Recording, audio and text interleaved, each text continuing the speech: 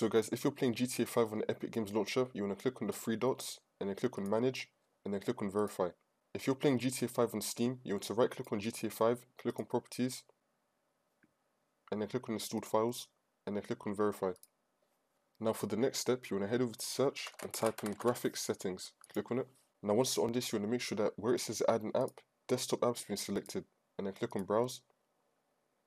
Then you want to find where you have GTA 5 installed. So for me, it's on my C drive, program files, GTA 5, and then you want to find the GTA 5.exe game. You want to double click on it, which will then add it here. You want to click on options, and then click on high performance, and click on save.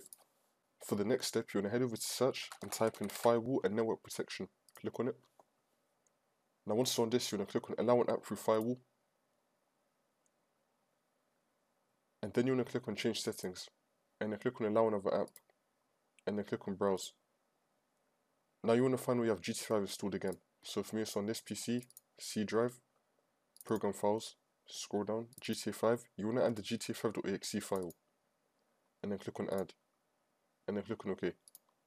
Now for the next step, you want to head over to search and type in check for updates. Click on it. Now once you're on this, you want to click on check for updates and do the updates your computer may have. For the next step, you want to head over to search and type in device manager. Click on it. Now once you're on this, you want to expand display adapters then you want to right click on your graphics card and click on update driver, and then click on search automatically for drivers. Make sure that the best drivers for your device have been installed. Now once you complete all the steps in the video, you want to restart your computer and then the problem should be fixed.